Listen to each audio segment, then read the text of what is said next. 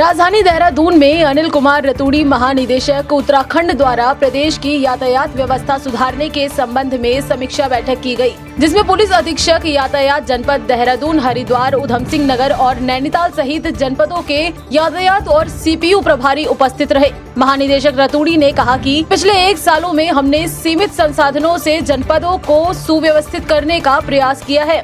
ये अच्छी बात है कि साल 2018 में सड़क दुर्घटनाओं और सड़क दुर्घटनाओं में मृतकों और घायलों की संख्या में कमी आई है। पूर्व की अपेक्षा आज के परिदृश्य में यातायात प्रबंधन भी अपराध और कानून व्यवस्था बनाए रखने के समान ही महत्वपूर्ण हो गया है।